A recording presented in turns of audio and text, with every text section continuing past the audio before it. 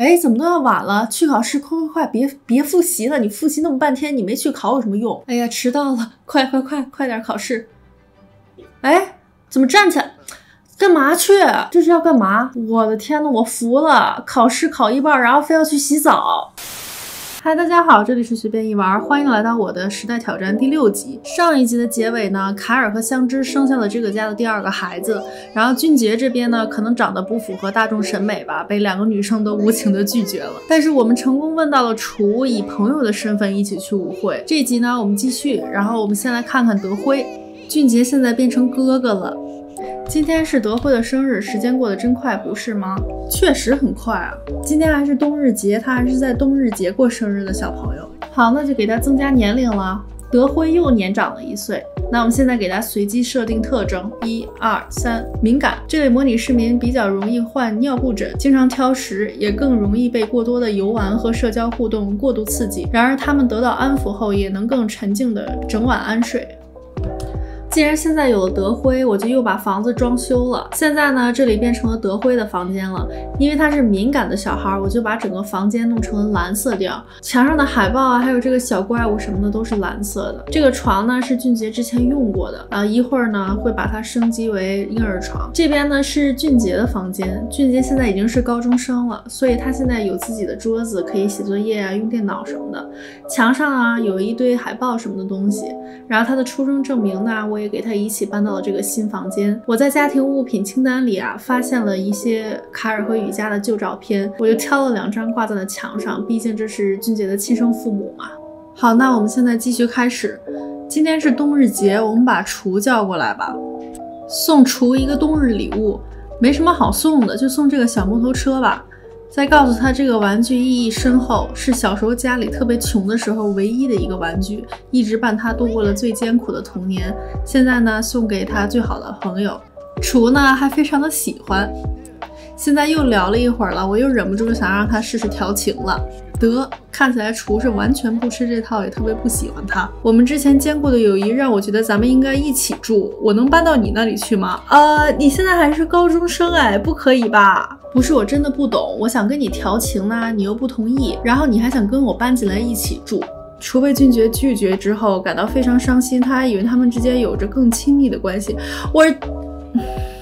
我已经叫君杰主动的去跟你调情了，你不是不愿意吗？哎呀，算了算了，德辉，德辉怎么长成这样啊？下巴为什么这么尖呢？凯尔还在睡觉，那行，君杰，你吃完了以后，你去照顾一下弟弟。吃完了过来抱着德辉，让他打个盹儿吧，不然一直哭好烦呢。然后俊杰呢，在这儿就跟他高中的 crush 坐在一起，抱着他的弟弟睡觉，非常的尴尬。卡尔，你来把这个床给他改造为婴儿床。哦，我们香知已经晋升为三等下士了。呃，德辉该吃饭了，香知你来喂他吧。得，香知急需洗澡，那香知去洗澡。哦，我们把这个浴缸重新买一个新的吧。好，我们斥重金的买了一个新的浴缸，这个浴缸呢还可以淋浴，这样洗澡呢会更有效率。香知，你先去淋个浴。对，凯尔，你去画画。那那可能还是得轮到你来了，俊杰。可是我不想让俊杰总是去照顾弟弟，谁生了谁去照顾。好，香知现在洗完了，你赶紧过来喂一下孩子。德辉非常的生气，竟敢抱我。或许是这个魔女市民，又或许这个情景让德辉很不自在。现在他气呼呼的，不愿意被抱着，并且想要被放下来。呃，那你怎么吃饭呢？你又被饿死吗？这个家不需要出现两个饿死鬼啊。那香知，你赶紧把他放下来。真是气。奇怪，刚才俊杰抱着德辉的时候就没有这个情况。哦，对，今天是冬日节，现在已经都下午五点了，我们还没做大餐呢。冬日节应该吃火腿。哎，我突然发现，虽然我们日子过得一直很拮据，但是我们还没有着过火什么的。有的时候我玩的 sim 吧，本来就很穷了，好不容易买了一个新的家具，然后总是着火就烧掉了。这边俊杰呢也帮着香知一起去做饭了。好，现在已经做好了，我们来邀请大家一起享用大餐。这是我们在这个时代挑战里过的第一次冬日节呢，但是我们已经发生了很多事。情了，伊安又打电话了。卡尔，我昨晚做了一个关于你的怪梦。我们在参加一个派对，你一直无视我，我跑去找你，在你面前挥手，但你好像看不见我似的。我是隐形人吗？你怎么看不见我啊？这这不会是意思是你马上就要死了吧？就是你死了以后来参加我的一个派对，然后我根本看不见你，因为你是鬼啊，肯定会友善对待你了，我的老朋友。我们邀请伊安也过来吧。上学是件蠢事儿，我现在就可以开始工作或者生活了。我可以再也不要去上学吗？上学可以学到很多重要的。东西吧。你这么一说，我就想到了，俊杰还没有找一个临时工作呢，做个体力劳动者吧。因为当警探需要很棒的身体吧，可以提前通过这个工作锻炼一下。然后俊杰，你过来把圣诞树点亮了。哎，正好是冬日老人也来了，他还在偷偷的放更多的礼物给我们。俊杰，你过来尊敬的介绍一下，这是你人生中第一次过冬日节呢。然后你再朝冬天老人要冬日礼物吧。获得了什么？海怪化石，先放这儿吧。哦，这边呢，卡尔在喂德辉奶，喂完了呢，教他匍匐。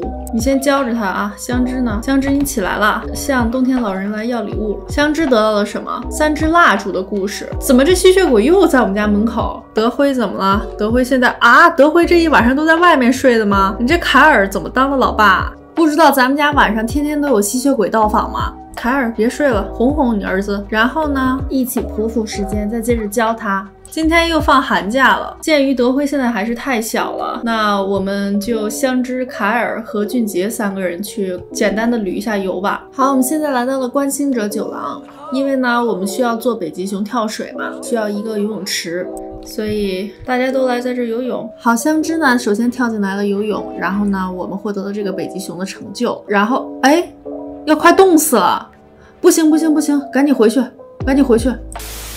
所以我现在让他们全部都回家了啊，因为我并不想让我任何一个 sim 再死于任何的事故。我们还是在家教德辉吧。哦，厨来了。对，俊杰，那你就接着跑，给他看看你是多么的阳光、爱运动的一个男孩。然后我们边跑着边了解一下厨。哦，厨不喜欢烹饪是吧？没关系啊，俊杰可以做饭。俊杰应该从现在就开始锻炼做饭。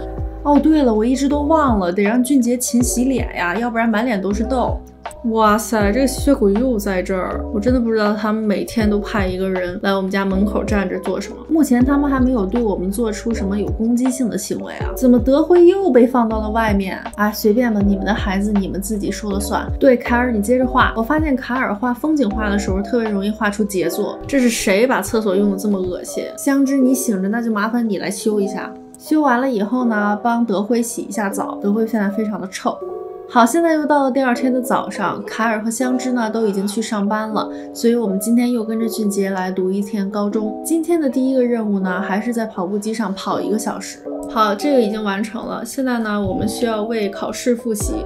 哎，怎么都要晚了？去考试，快快快，别别复习了！你复习那么半天，你没去考有什么用？哎呀，迟到了，快快快，快点考试！哎，怎么站起来？干嘛去？这是要干嘛？我的天呐，我服了！考试考一半，然后非要去洗澡。点了一份炸鸡三明治，特意跑到了厨的身边来吃，然后厨直接走了哦，因为上课了是吧？你看你，你非得去洗那个澡，你现在什么都是晚的，你也不能跟你的 crush 一起吃午饭了。好了，那下午这场考试呢，勉勉强强的是考过去。哦，这是厨是吧？哦，道歉，我们是做错了什么吗？不管了，那就先道歉好了。然后呢，再跟他开玩笑，讨论下雪。你知不知道初雪的时候，在身边的那个人就是真爱呢？然后呢，我们再，哎，怎么走了？是一点情话都不想听吗？那算了，我们就先回家了。你呢，先回家写作业吧。我们提升自己是主要的，自己优秀了以后呢，就会有其他的女生会崇拜你哦。今天是进城夜，那大家一起都去城里边吃饭去。好，我们来到了城里，没带着德辉，因为德辉现在太小了，什么都干不了。齐梦又打电话，最近镇子外面办了一场演唱会，你去看了吗？我们必须一起去，这可是千载难逢的机会。那行吧。俊杰接受了邀请，但是需要找到出去的地方。他可以请假或者逃跑，点击地面就可以，是吧？哦，去听流行音乐会，这样就可以了，是吗？可以逃跑吗？哦，成功了。这边呢，香知被辣的喷火，旁边坐了几个模拟市民。我们先跟他们友善的介绍一下，多认识几个人吧。感觉香知认识的人好像都去世了。哎，今天是德辉的生日啦！哦，还真是，也是香知的生日。那得了，那现在大家都回家吧。好，现在到家了，凯尔，你这个做老公又做爸爸的，赶紧去做一个蛋糕。这边呢，德辉学会了做起来了。我怎么觉得德辉好像学的比俊杰要慢呀？我记得俊杰好像很快就学会做起来了。好，这边呢，凯尔已经把蛋糕做好了，放上了蜡烛。